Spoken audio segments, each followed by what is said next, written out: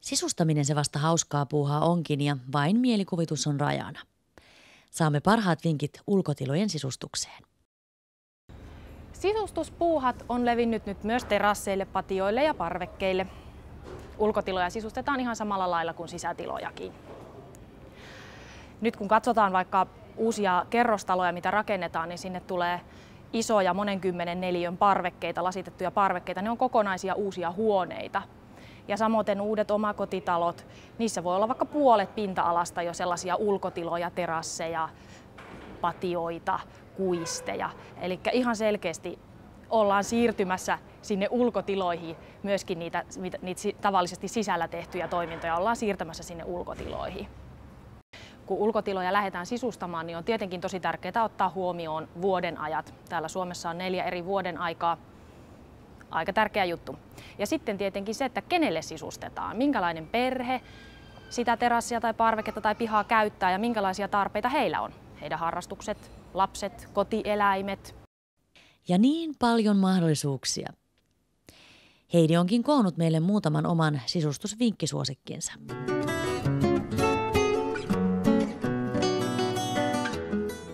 Tämä perinteinen köynnösritilikkö on tosi monikäyttöinen sisustuselementti. Tälle keksii montakin hyvää käyttötarkoitusta somistamiseen ja suojaamiseen. Ja ihan perinteisesti tietenkin näin, mutta myöskin näin päin. Ja tällä voi pehmentää niitä useasti aika betonisia parvekkeen seiniä jo ihan pelkästään sillä, että sinne on vähän tällaista pehmentävää elementtiä ruuattu.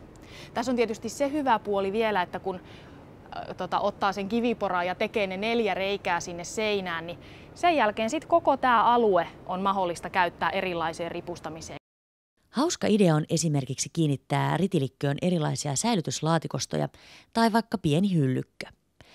Näin pienellekin terassille ja parvekkeelle saadaan lisää säilytystilaa vaikka lehdille ja pienille esineille. Sen lisäksi, että tätä voi käyttää seinällä, niin tämän voisi myöskin sitten nostaa villisti tälleen, tälleen pään päälle. Ja tällä saa tota hyvin sellaista intiimiyttä esimerkiksi pöydän päälle, kun tämän vähän niin kuin laskee sieltä katosta alaspäin. Ja taas kerran on sitten niin kuin mahdollisuus koko tällä pinta-alalla niin riiputtaa alaspäin erilaisia kukka-ampeleita tai syksyllä lyhtyjä tai talvella jouluvaloja. Kesällähän tänne päälle voisi laittaa vaikka jonkun astia ja muraatin kasvamaan sieltä, niin se kasvattaa sitten ikään kuin sellaisen vihreän katon siihen pöydän päälle. No, näitä löytyy todella moni, monessa eri koossa ja eri värissä. Ja toinen kiva idea, minkä lähin tämän ritilikö ympärille toteuttamaan, niin on tämä tämmöinen pieni yrttiseinäke. Tämähän mahtuu hyvinkin pienelle parvekkeelle, voi koota tällaisen oman yrttiseinän, mihin sitten, mihin sitten voi istuttaa yrtit kasvamaan ja työkalut tähän viereen roikkumaan vaikka S-koukkuja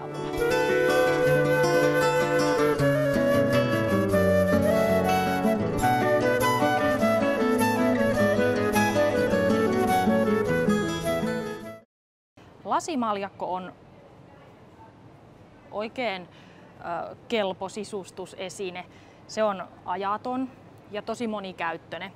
Tännehän voi rakentaa erilaisia esillepanoja tai, tai somistusjuttuja ihan luonnonoksista tai sitten jotain semmosia, semmosia tota, sisustuksellisia asetelmia. Syksyllä täällä voi polttaa kynttilää. Tänne voi laittaa valosarjan tuikkimaa ja sitten tietysti näyttävä lasimaljakko, niin se on ihan niin kuin hyvän näköinen itsessään jo. Ja tähän käy nyt sitten olkkarin pöydälle, keittiö, ruokatilaa, sinne terassille, parvekkeelle. Mielellään kuitenkin niin, että, että sinne ei pääse satamaan vettä. Lasiesineet ovat todella kauniita ja monipuolisia sisustuselementtejä. Vaikka ei katettua tilaa pihassa olisikaan, pystyy kuvullisilla lasiesineillä toteuttamaan upeita sisustusratkaisuja ja sade ei niitä pilaa. Joo, tässä on kiva, kun tässä on kansi, niin tännehän voisi laittaa jotain sellaista ei-elävää, käpyjä, kiviä, jotain, jotain sellaista luonnon, vaikka joku ihana sammal mätäs, minkä päällä olisi sit kiviä aseteltu ja näin, niin sinne ei saada vettä eikä mene siitepölyt eikä muut, kun siinä on kansi.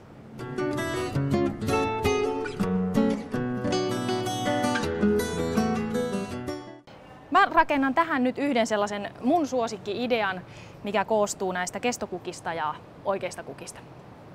No, tämä kestokukkahan on kyllä mainettaan paljon parempi me vähän mielletään, että nämä on niitä 80-luvun muoviruusuja, mutta nykyään tarjontaa ihan erilaista. Nämä on hyvin aidon näköisiä ja nämä kestää myöskin sitä auringon UV-säteilyä ihan eri lailla kuin ennen, että nämä ei lähde haalistumaan.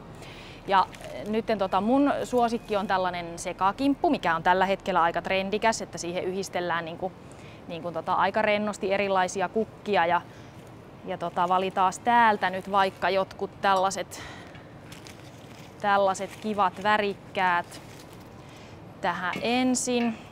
Ja näitähän kannattaa sitten sitten kun on valinnut ne sopivat kasvit, niin myöskin leikata ihan rohkeasti, että harvoin ne sattuu heti olemaan oikein pituisia. Että, et tota, näissä on rautalanka useasti täällä sisällä, niin sivuleikkureilla vaan reilusti sitten tota, pituutta pois ja, ja ylimääräisiä kukkivia oksiakin voi leikata pois, että nämä tehdään useasti aika runsaasti kukkiviksi meidän suomalaisten makuun. Ja sitten kun on tota, valittu valittu ne kestokukat siihen, niin sitten mulla oli ajatuksena, että voisi yhdistellä tällaisia ihan vähän niin kuin luonnosta tämmöisiä vähän niin kuin ros, roskakukaksikin ehkä nimettyjä tämmöisiä aitoja vihreitä oksia, mitkä sit kestää hyvin, niin vähän tuomaan sellaista aitoa fiilistä tänne, tänne kestokukkien sekaan.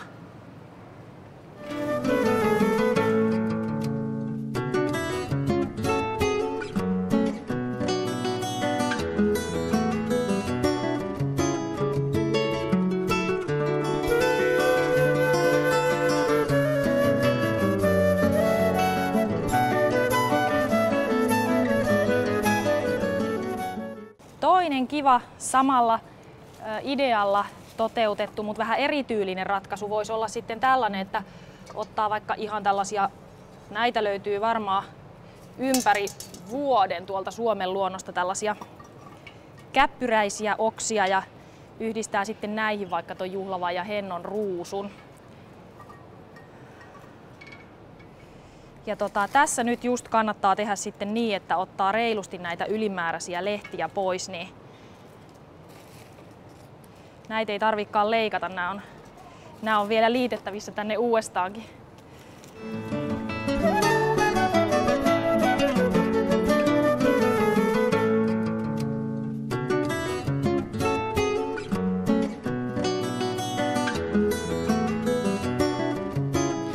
Upea asetelma on valmis. Hyvin sointuvat toisiinsa karu ja kaunis.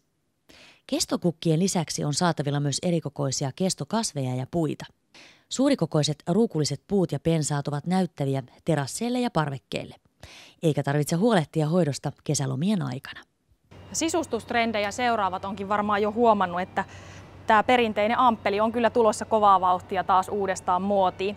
Ja mua itteeni viehättää tässä ampelissa se monikäyttöisyys, että tätä ei tarvitse ajatella niin, että sinne vaan laitetaan se, se tota juoru roikkumaan ikkunalle, vaan vaan sitä voisi käyttää tämmöisenä yrttikeinuna esimerkiksi keittiöikkunalla. Tai sitten joku tällainen ratkaisu, mikä voisi roikkua vaikka rantasaunan kuistilla pesuvälineiden säilytyspaikkana. Nämä ampelit on tehty kierrätystrikoista. Näihin on leikattu Marimekon vanhat raitapaidat naruiksi ja solmittu amppeleita. Ihan niitä perinteisiä naruamppeleita löytyy kaupoista, mutta kannattaa kokeilla solmia itsekin. Tämä on yllättävän helppoa ja koukuttavaa. Uusvanha on sisustuksessa yksi erittäin vahva trendi.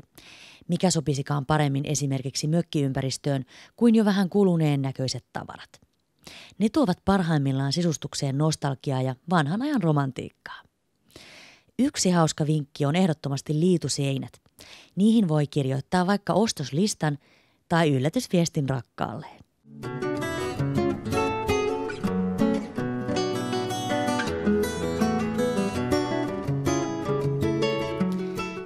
Trendi on myös sisustaa kierrätystuotteilla tai jalostaa niistä uusia esineitä. Tähän hauskoja vinkkejä löytyy muun muassa sisustuskärpäsen liikkeestä.